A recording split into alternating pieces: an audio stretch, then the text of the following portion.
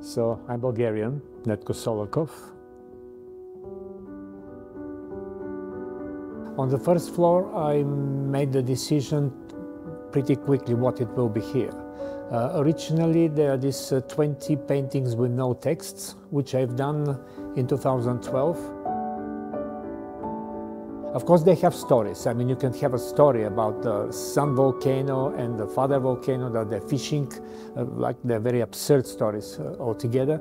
All of them they put chronologically because I really uh, kind of uh, this one cycle, which doesn't mean that they don't exist uh, separately, but it's very important to follow the dates when I've done them.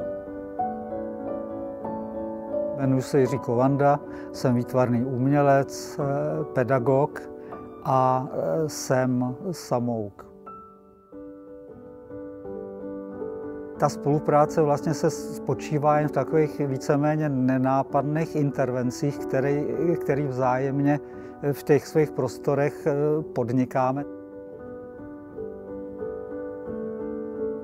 Společný eh, všem těm věcem, které tady ode mě se nacházejí, tak je to, že, že vznikly výhradně tady na tom místě, tady eh, v galerii, z věcí, které jsou k dispozici buď zde nebo na zámku. Prostě všechny věci vznikly tady.